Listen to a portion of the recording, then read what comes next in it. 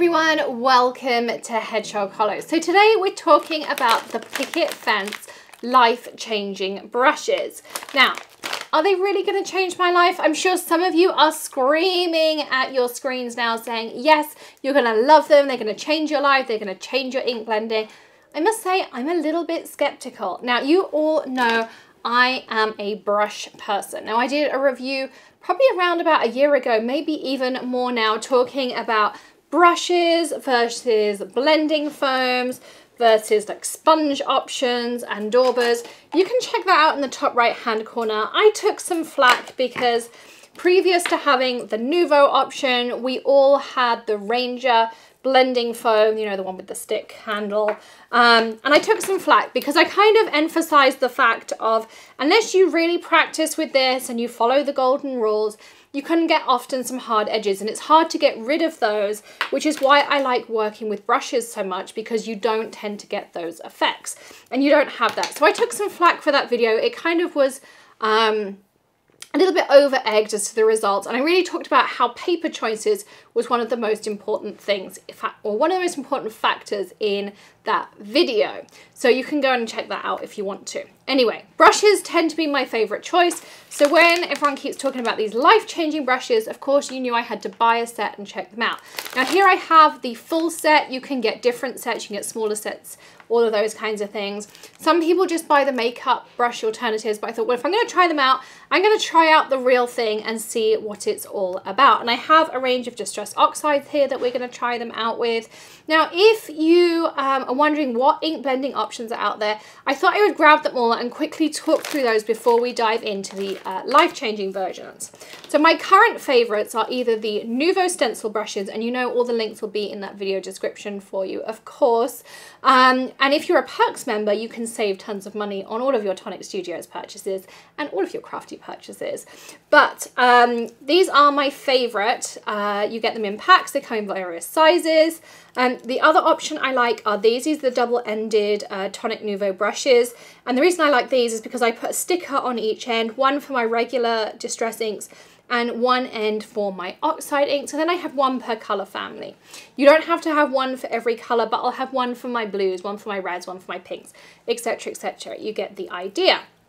Other options you have are the smaller brushes they do. They do this size. These also work really nicely too. Again, but you don't want to contaminate your oxide with your regular distress inks. You want to make sure you keep separate brushes. You can, of course, wash and let air dry in between. That works too. You have your blending foams. I really like the tonic option if you're going to go down that road. I find these last me longer than the Ranger ones. Again, personal preference. And we do have Ranger in our perks program, so you can go down that road if you want to. You have the silicone sponge option. This is a really nice option too. Um, nice and squidgy, very tactile, gives you a really nice result. Or you have something like the sponge daubers from scrapbook.com. I also did a video on these. They come in this size and a jumbo size. Again, links in that video description below. You can check all of those things out. But let's try those life-changing ones. So let's open up. You can see it's a brand new packet. I haven't even open them up. So we can open them together and see what we get. This is the full set. So this has everything in. These are brand, brand new. Um, there is a piece of card in here. I don't know if there's any instructions. Nope. So we're just going to dive in. So you can see they all come like this. You've got a nice kind of spongy surface, foam um, brush surface on here. You've got the handle to hold. The idea being you then just kind of blend your ink like this. And I grabbed an array of the green oxides. You can see I've got pine needles, lucky clover, evergreen bough, and cracked pistachio here. And we've got them in a variety of sizes. So we have everything from our really large here down to our small tip. So this is more like the kind of thing your dentist might use. We've also got like the really fine slithers here too. So we've got really fine sizes um, if you want to do some more kind of detailed work or maybe if you wanted to do like a stripe type deal. So you've got lots and lots of different options. I say this is the full set. You can get smaller sets too. There are budget options there. But let's just blend straight onto our cardstock to start with. So I'm going to start off with the largest one on my cracked pistachio. So I'm going to start with the golden rose starting off the edge, blending on. Of course, I'm working onto my glass mat here too. So I am getting a really nice smooth blend. Of course, I'm working with oxides, which also give me that option. You can also see how everything just fades out really nicely. So that's something that I wouldn't necessarily get with um, other options. So I do like that. So I can fade out almost into nothing. Maybe if I wanted to go to a slightly darker shade, I could take my Evergreen Bough like this and I'm now going to start shading around here. So you can see again, really nice smooth blend. And we could go back with some cracked pistachio and we can blend those two together. So, so far I have to say, very impressed. You can see there I've got a really nice smooth blend where the two meet. And I'm able to blend those two colours together seamlessly. So they really do look like I've gone from a very light cracked pistachio into that evergreen bough. Let's add in maybe a little bit of lucky clover. I'm going to keep the brush with the appropriate one just so that I don't mix colours. We'll go into some lucky clover next. I'll start off the side here, add in some lucky clover. I'll do the same up here. And then I'm just going to take my evergreen bough and soften up some of that join. Again, you can see they are blending beautifully and it's not a lot of work at all. And then I'm going to take some pine needles. We'll go with our next one down here. I'm going to just turn my cardstock. This is why I like working on the glass mat because of course I can make as much mess as I want. I'm just going to take another piece of cardstock. When you're on Distress Oxides, because they have that pigment in, um, you want to make sure you don't touch with your fingers you'll get fingerprints. Piece of kitchen towel, a glove, lots of options, but just don't touch it directly with your fingers.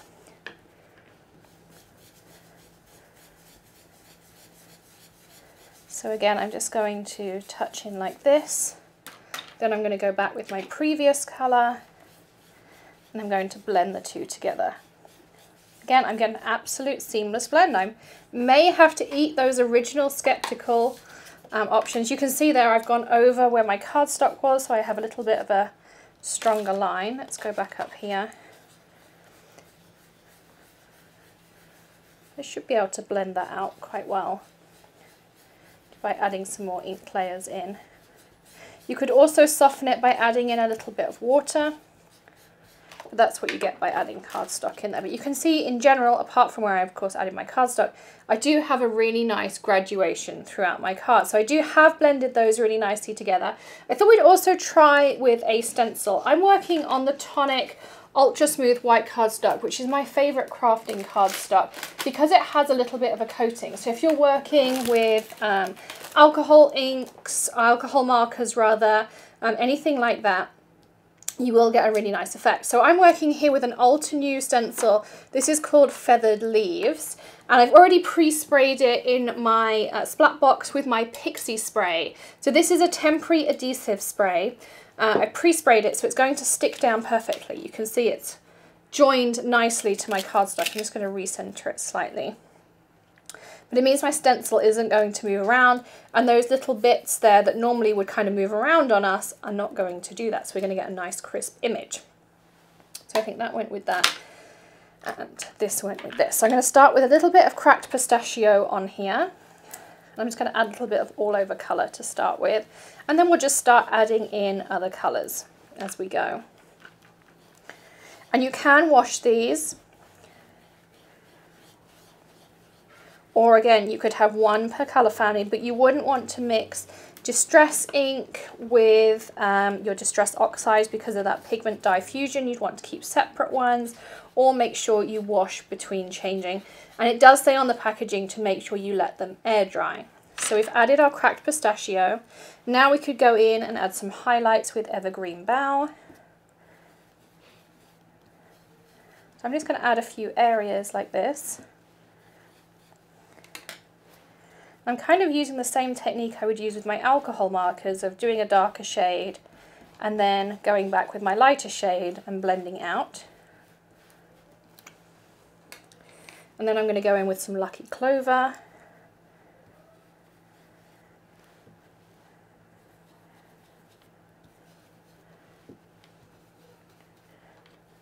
Like so. Go back with some Evergreen Bough. Back to our cracked pistachio. As I say, oxides are a pigment dye fusion, so they give you a little bit longer to work and blend, so you're going to be able to add more texture and depth in. Then we're going to go to our pine needles. So I think I'm going to add some of that here, some down here.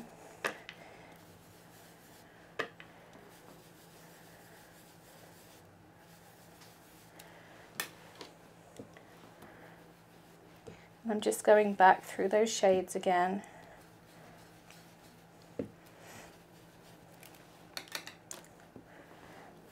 And if you want to know how to store your distress inks in rainbow order, uh, you can go over to the Ranger website and they have how to store them in that exact rainbow order. Um, and everything in my room is stored in rainbow order, so that's how I like it done. So you can see there I have a nice kind of blend all over. And now we get to do the fun bit, which is peeling off our stencil and that pixie spray has held in place. You can see how I've got that beautiful clean image and that's because my stencil stuck on with the pixie spray but I can stick it onto vellum, I can stick it onto delicate papers or I can stick it onto things like chipboard, Yupo paper, all those things. It's just a light tack temporary adhesive. Now I can get rid of that adhesive on my stencil. If you want to check out more about pixie spray you can check the video in the top right hand corner. I did a whole video on how to apply it, all those things. Storage wise people ask me what do I do. So now I would just go and wash this stencil under warm water, perhaps a bit of Dawn if I needed to. I mean, with distress inks, I really don't need the Dawn.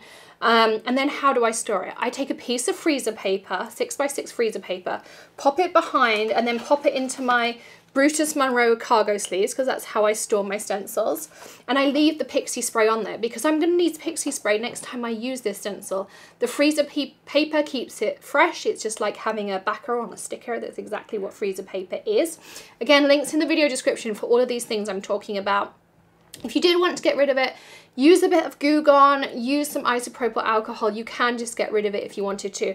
But I suggest leaving that pixie spray on there and using a piece of freezer paper inside your envelope and you'll find that works really, really well. But I might actually be a convert to these life-changing brushes. I might have to eat those words. I have to say, I'm really impressed and I love how I have that beautiful blend that would be harder to achieve with my blending foam or my other brushes that I tend to use, whereas this was really, really easy to get that graduated effect. Um, I would like if I could buy maybe like six or seven of these in one package as opposed to having to buy mix packs. Maybe that's an option. As I say, you can get makeup ones that do the same job, but people say that the picket fence ones have been sourced to be the best. And if you're a Perks member, you can get 10% off at Ellen Hutson and Ellen stocks these. So again, you can make some extra savings as a Perk member. If you're not already a Perks member, you are missing out on saving so much money on your crafty purchases. Check the top right hand corner to join. Just click that button. Also, don't forget to hit the subscribe button and ring the bell and give us a thumbs up for today's video. It really does help us. Uh, I will see you again tomorrow with some another maybe tip, trick, tutorial or something else fun.